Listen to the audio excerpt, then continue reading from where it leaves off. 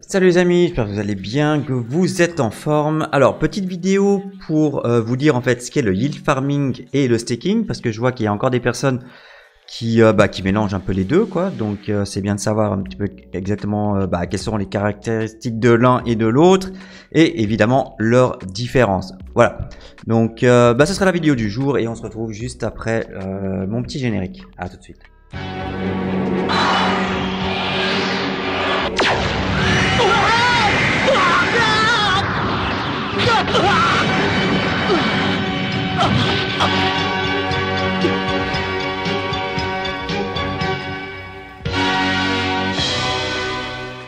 Alors d'abord, on va parler du yield farming euh, et je vais vous donner la définition. Donc en fait, c'est une méthode populaire pour générer passivement des jetons crypto comme revenus. Donc il consiste simplement à déposer euh, ben, vos actifs crypto sur une plateforme qui les prête en fait à d'autres fournisseurs de liquidités, voire à des exchanges. Euh, cela peut vous permettre de gagner à la fois des intérêts et une partie des frais de transaction.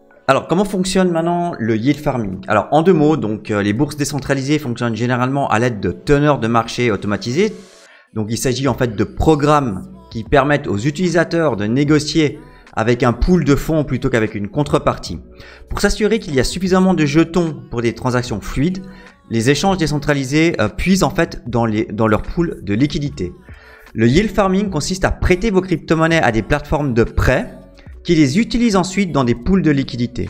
En retour, évidemment, vous recevez des intérêts qui vous aident à accroître vos avoirs en crypto. Le yield farming permet d'utiliser vos fonds crypto inutilisés, évidemment à bon escient, et de gagner de l'argent avec peu ou quasiment pas d'efforts. Les rendements peuvent être également très lucratifs, surtout si vous commencez tôt dans le cycle du projet. Cependant, l'une des principales préoccupations dans le yield farming, c'est la volatilité du prix des cryptos. Cette volatilité peut entraîner des pertes temporaires dans vos fonds qui deviennent permanentes lorsque vous décidez de les retirer. Allez, passons maintenant au staking. Le staking, c'est en fait un mécanisme de consensus qui permet aux utilisateurs d'une blockchain de participer à son processus de validation. Lorsque vous verrouillez vos cryptos sur une plateforme, il s'agit de votre enjeu sur le réseau. Cet enjeu vous permet de vérifier si les transactions sont authentiques ou frauduleuses. Une validation réussie vous récompense en crypto-monnaie appelée récompense de bloc. Les plateformes centralisées ont leur propre méthode de vérification des transactions. Cela n'est évidemment pas possible sur une blockchain où il n'y a pas d'autorité centrale de validation. Au lieu de cela, les utilisateurs de la plateforme doivent aider à sécuriser le réseau. Dans les blockchains à preuve d'enjeu, donc les proof of stake, cela se fait évidemment par le staking. Il agit comme une garantie contre laquelle vous pouvez participer à la validation. Vous pouvez gagner des récompenses si vous réussissez à valider un bloc de transaction et à l'ajouter à la blockchain. Toutefois, si vous agissez de manière malveillante ou si vous validez des, transactions frauduleuses, vous perdez une partie de votre mise, voire la totalité. Les principaux risques qui pèsent sur le staking sont les pannes de réseau, les risques liés aux validateurs et les échecs de projet. Si le réseau est instable, vos gains peuvent également être variables. Si vous choisissez le mauvais nœud de validation pour miser, cela peut entraîner une baisse du montant que vous avez misé. Enfin, évidemment, faites vos propres recherches avant de choisir un projet et de staker. Passons maintenant aux différences entre le yield farming et le staking, puisque je pense que bah voilà, c'est le sujet de la vidéo et que vous êtes là pour ça.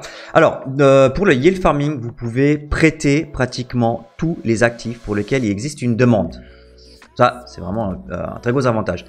Tout cela peut se faire en fait euh, par le biais de plateformes en ligne comme AAV ou Compound. Donc ça c'est les deux plus grosses et j'ai envie de dire les deux plus grosses sécurisées, mais il y en a plein d'autres. Donc à vous après de, faire euh, d'aller gérer vos, risques avec les plateformes qui sont un peu moins connues. Donc avec ça en fait ça rend le processus tout simplement beaucoup plus facile à gérer. Cependant, pour le staking, il exige que vous utilisiez le jeton natif de la blockchain elle-même. Si vous voulez miser en fait et staker sur la chaîne Binance, il va falloir staker du BNB les amis. Vous ne pouvez pas utiliser une autre euh, crypto-monnaie euh, que la blockchain.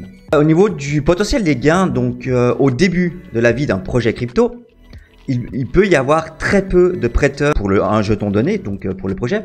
quand vous êtes un des premiers à prêter, ben, comme il y a peu de monde, ben, les, les rendements sont très élevés. Donc certaines cryptos peuvent offrir des rendements ben, entre 50 et 100% au début. Alors évidemment, le, temps que d'autres personnes arrivent, c'est-à-dire que plus il y aura de monde euh, qui vont staker, et plus le rendement va baisser. Donc si vous croyez au projet, bah, allez staker tout de suite dès que l'option est ouverte. Le staking, en fait, c'est un investissement beaucoup plus stable euh, où les rendements sont déterminés principalement par le prix du jeton et le montant distribué en tant que récompense de bloc. Alors, vu que c'est un petit peu plus, euh, il y a moins de risques, alors évidemment les rendements sont moins élevés. On peut s'attendre 5 euh, et 10% par année. Je dirais que 10% c'est voilà, c'est un bon taux. si jamais pour une bonne crypto-monnaie. Le yield farming, en fait, c'est pas un processus très simple il nécessite une compréhension de l'espace de prêt dans la défi, donc dans son ensemble, ainsi que des rendements attendus sur un actif donné. Alors, une exploitation optimale peut même impliquer l'échange de plusieurs jetons pour arriver en fait à l'actif offrant les meilleurs rendements.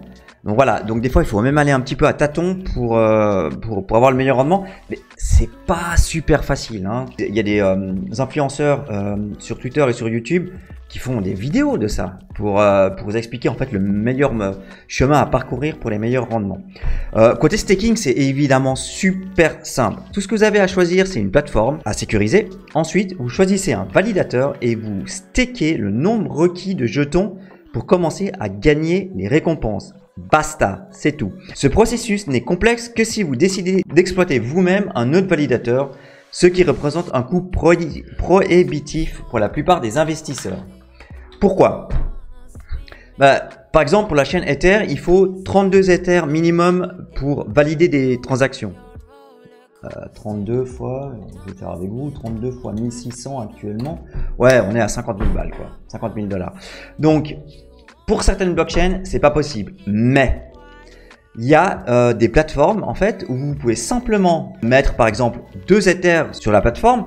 Et en fait, il y a un agrégateur. C'est en fait la plateforme elle-même qui va prendre eh ben, euh, un peu d'éther de tout le monde jusqu'à arriver à 32 voire beaucoup plus.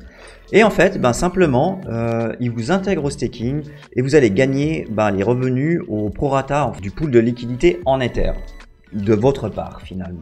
Voilà, alors pour finir, qu'est-ce qui est le mieux? Le staking ou le in farming euh, à moyen et long terme. Alors, chaque euh, forme d'investissement offre évidemment ben, ses propres avantages. Le staking, lui, bah voilà, vous pouvez commencer à générer des rendements immédiatement avec chaque bloc validé. Par exemple, sur la plateforme Ethereum, eh ben, la récompense d'un bloc, elle est distribuée toutes les 12 secondes. Mais voilà, en contrepartie, les rendements sont réguliers, mais faibles à long terme. Voilà, on va pas pour une bonne blockchain, on, on est entre 5 et 10% comme je vous l'ai déjà dit. Euh, donc si vous êtes plutôt pépère, c'est ce que vous allez choisir. Alors en ce qui concerne le in farming, l'avantage c'est que vous n'êtes pas obligé de bloquer vos jetons. Donc il y a des protocoles où vous pouvez aller, vous pouvez laisser une semaine, deux semaines. En fait, vous stakez et puis en fait vous déstakez quand vous voulez. Donc voilà, vous pouvez vous balader d'une plateforme à une autre et aller euh, ben, chercher les meilleurs rendements pour vos fonds. Donc voilà, donc si vous êtes pépère, c'est le staking. Euh, si vous aimez les risques, c'est le yield farming. Voilà, c'est tout pour moi et je vous dis à bientôt pour une prochaine vidéo. Salut les gars